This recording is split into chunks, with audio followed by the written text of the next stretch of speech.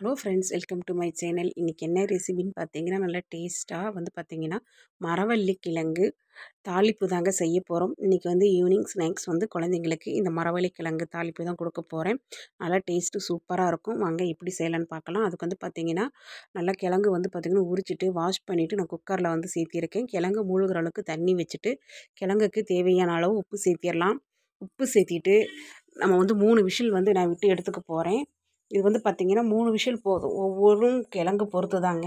இந்த கிழங்கு வந்து பார்த்திங்கன்னா நான் மூணு விஷில் வந்து பாருங்க. சூப்பராக நல்லா வெந்து வந்துருச்சு. சூடாக இருக்கிறனால அதனால் காட்ட முடியல. ஆற வச்சு காட்டுறேன் பாருங்கள் நல்லா குலைவாக கஞ்சி மாதிரி நல்லா வெந்து வந்திருக்கு. இப்போ வந்து பார்த்திங்கன்னா இந்த கிழங்கு நல்லா உதுத்தி எடுத்துக்க போகிறேன் நான் வந்து கையிலே நல்லா தூள் பண்ணி எடுத்து வச்சுருக்கேன். இதுக்கு வந்து பார்த்திங்கன்னா வெறும் முழு கிழங்காவே அப்படியே சாப்பிட்டாலே நல்லா கிழங்கு டேஸ்ட்டாக இருக்கும். தாளித்து கொடுத்தா இன்னும் பார்த்திங்கன்னா டேஸ்ட் இன்னும் அதிகமாக இருக்கும். அதனால் வந்து தாளிக்க போகிறேன் கிழங்கு நல்லா தூள் பண்ணி எடுத்தாச்சு. இப்போ வந்து இது தாளிக்கிறது பார்த்திங்கன்னா நல்லா ஒரு பெரிய வெங்காயம் கட் பண்ணி வச்சுருக்கிறேன். பச்சை மிளகாய் வரமிளகாய் கருவேப்பிலை எடுத்து வச்சுருக்கேன். இதுக்கு வந்து பார்த்திங்கன்னா நல்லா நல்லா உளுத்தம் பருப்பு கடலைப்பருப்பு நல்லா நிறைய போட்டு தாளித்தோம்னா டேஸ்ட்டு வந்து பார்த்திங்கன்னா சூப்பராக இருக்கும். அதுக்காக வந்து உளுத்தம்பருப்பு கடலைப்பருப்பு எடுத்து வச்சுருக்கேன். ஃபைனலாக கொத்தமல்லி இலை கொஞ்சமாக எடுத்து வச்சுருக்கேன். இப்போ வந்து பார்த்திங்கன்னா தாளிச்சிடலாம் வாங்க. வானால் ஹீட் ஆனதும் அதில் வந்து ரெண்டு ஸ்பூன் அளவுக்கு எண்ணெய் விட்டுட்டு கடுகு சேர்த்தியாச்சு. கடுகு நல்லா பொரிஞ்சு வரட்டும். கடுகு பொரிஞ்சதும் கடலைப்பருப்பு உளுத்தம்பருப்பு வந்து சேர்த்திடலாம். கடலைப்பருப்பு உளுத்தம்பருப்பு நல்லா வந்து பார்த்திங்கன்னா பொன் நிறமாக வரணும். அப்போ தான் வந்து நல்லா டேஸ்ட்டாக இருக்கும். கிழங்கு சாப்பிடும்போது பார்த்திங்கன்னா இந்த கடலைப்பருப்பு உளுத்தம்பருப்பு இடையில் வரும்போது நல்லா கடித்து சாப்பிட்றதுக்கு நல்லா வந்து பார்த்திங்கன்னா சூப்பராக இருக்கும். இப்போ வந்து பார்த்திங்கன்னா இதிலே வந்து வெங்காயம் சேர்த்திடலாம். வெங்காயம் வரமிளகாய் இதெல்லாம் சேர்த்திட்டு நல்லா வந்து வதக்கிக்கலாம். வதக்கிட்டு இதிலே வந்து பார்த்திங்கன்னா பெருங்காயத்தூள் வந்து நான் சேர்த்துறேன்.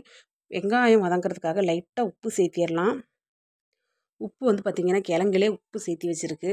அதனால் வந்து பார்த்திங்கன்னா உப்பு வந்து லைட்டாக சேர்த்துனா போதும். சும்மா வெங்காயம் வதங்கிறதுக்காக லைட்டாக உப்பு சேர்த்தி வதக்கிட்டு இதிலே வந்து பார்த்திங்கன்னா ஒரு ஸ்பூன் அளவுக்கு பெருங்காயத்தூள் சேர்த்துறேன். பெருங்காயத்தூள் சேர்த்திட்டு ஒரு ஸ்பூன் மஞ்சத்தூள் சேர்த்தி நல்லா மிக்ஸ் பண்ணி விட்டுறலாம்.